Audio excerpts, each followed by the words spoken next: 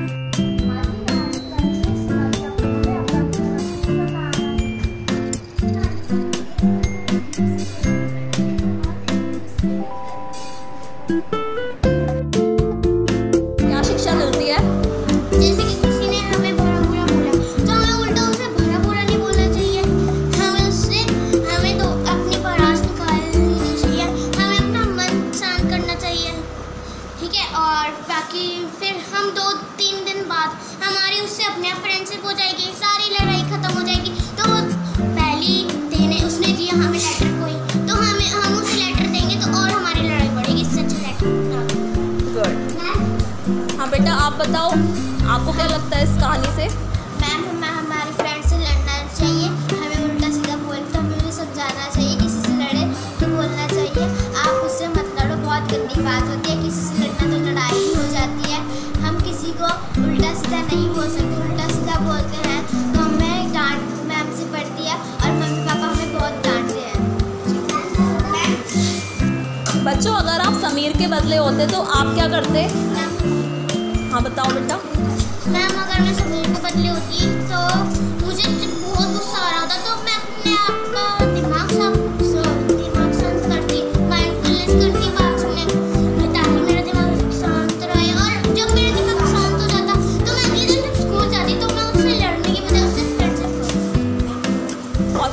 हाँ बोलो बेटा। मैम हमें लड़ना नहीं चाहिए। अपने दोस्त से दोस्त दोस्त के काम आता है।